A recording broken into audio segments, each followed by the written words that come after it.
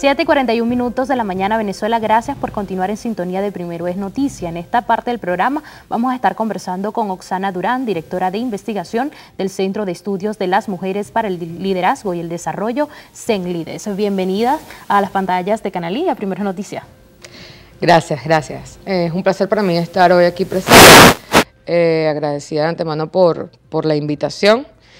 y bueno, eh, un poquito de lo que queríamos venir a compartir con ustedes es en conmemoración al 12 de este mes, el día lunes, que eh, pasó en el mundo algo muy interesante, ya que eh, muchas instituciones se pronunciaron con respecto al Día contra el Trabajo Infantil en el mundo. Claro, me encantaría que nos hable un poco acerca de este tema y también cuáles fueron las actividades que estuvieron desarrollando en torno a este día y las próximas actividades que van a realizar. Bueno, el día, el día lunes, eh, más que todo estuvimos realizando campañas de concientización, las cuales estuvieron colgadas en nuestras redes sociales. Para este día sábado tenemos una actividad con niños en el sector los eucaliptos eh, de la parroquia San Juan, eh, y vamos a tener todo el mes en ocasión a este día tan especial que, tiene que llamar a conciencia al pueblo venezolano. muchas, muchas actividades que pueden estar visualizando a través de nuestro Instagram, Zenlides, arroba Zenlides, que pueden ingresar y ver más o menos nuestros cronogramas de actividades. Hablando de la población venezolana, me encantaría que usted como parte de esta organización les recuerde a toda la población la importancia de este tema. Bueno, principalmente, eh, y cosa que, veníamos viendo, yo estaba más o menos revisando las redes a ver cómo se habían comportado con, respecto a este tema tan importante, es, es un llamado a la conciencia del pueblo venezolano y hay muchas organizaciones privadas que ya han venido haciendo, realizando esfuerzos respecto a este tema, pero aún tenemos un camino muy largo por recorrer, nos falta mucho acceso a cifras, a estadísticas, a datos sobre cuál es la condición del trabajo infantil en la actualidad eh, en nuestro país. Desconocemos completamente cuáles son las cifras y estadísticas reales, pese a que se han hecho esfuerzos, hay, hay bastantes fundaciones, amigas que han hecho un esfuerzo importante en atender el tema, aún desconocemos cuál es la cantidad de trabajo infantil, cuáles son las condiciones eh, en las que se encuentran niños, y adolescentes bajo eh, esta figura, el tipo de trabajo, ahí, eh, logramos leer algunas publicaciones de la gente de SECODEP y decía que más o menos el 60-70% del de, trabajo infantil de niños y niñas adolescentes estaba eh, vinculado al trabajo minero en el Estado Bolívar.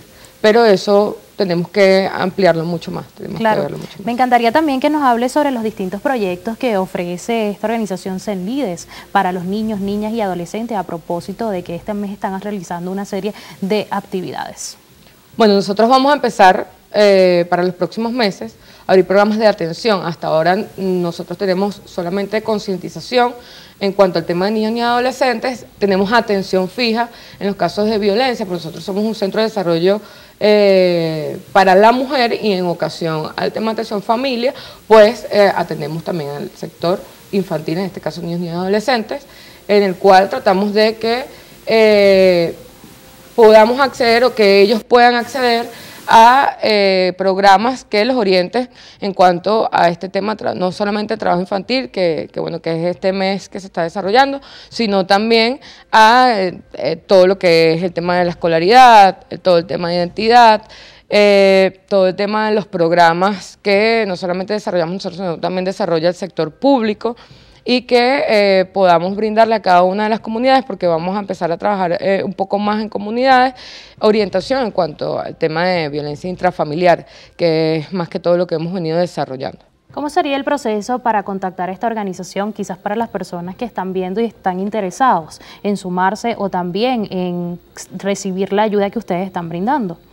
A través de nuestra, en principio a través de nuestro Instagram, arroba Zenlides, eh, por allá nos pueden estar contactando. Nosotros vamos a aperturar un proceso de voluntariado también, que esperamos aperturar, aperturarlo entre agosto y septiembre, para que todas aquellas personas que quieran sumarse a esta iniciativa, a las actividades que vamos a ir eh, desarrollando, puedan eh, contactarnos y, bueno, trabajar de la mano con nosotros. En cuanto a los proyectos que tienen de la mano con las mujeres, ¿cómo se han desarrollado estos proyectos? Bueno, con, con las mujeres ha sido maravilloso poder atenderlas en, en, sus, distintas, en sus distintos aspectos. Hemos, hemos atendido el proceso formativo, sobre todo eh, nuestra directora general, eh, es la que lleva la cabeza de, este programa de atención eh, de las mujeres directamente y lleva una sección que es bastante interesante, que es sobre emprendimiento para tratar de que las mujeres nos empoderemos en tema económico y evitar ser víctimas de violencia patrimonial. Eso, la, violencia patrimonial es uno de los temas que después vamos a estar conversando, que genera o que afecta el desarrollo de la violencia intrafamiliar. Muchas mujeres de las que hemos atendido, se quedan todavía conformadas en estos hogares donde existe este tipo de violencia por el tema de la manutención de los hijos eh, y bueno, y un montón de, factores que cada caso particular es completamente diferente, pero ha sido un proceso maravilloso, sobre todo poder eh, obtener los resultados que queremos en el acompañamiento.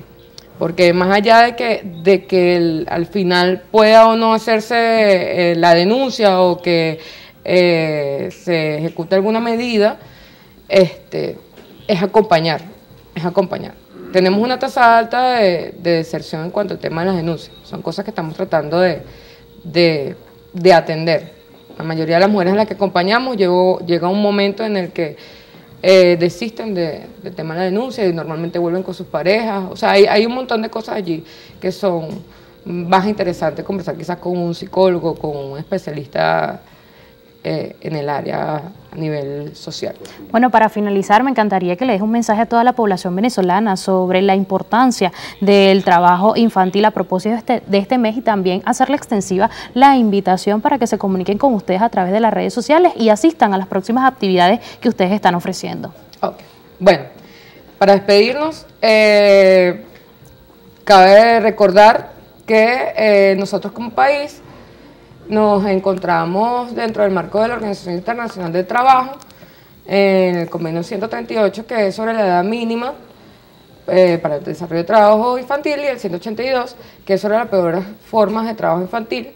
Eh, el Estado venezolano, a través de sus distintas eh, organizaciones u órganos con competencia en materia de niños y adolescentes, también conjunto con las fundaciones y otras entidades privadas, que nos aboquemos a la erradicación de este fenómeno para poder eh, garantizar una niñez saludable, una niñez eh, inclusiva, una niñez que eh, pueda garantizarnos nuestras generaciones de relevo, que al final los niños y niñas son nuestras generaciones de relevo y tenemos que cuidar la infancia.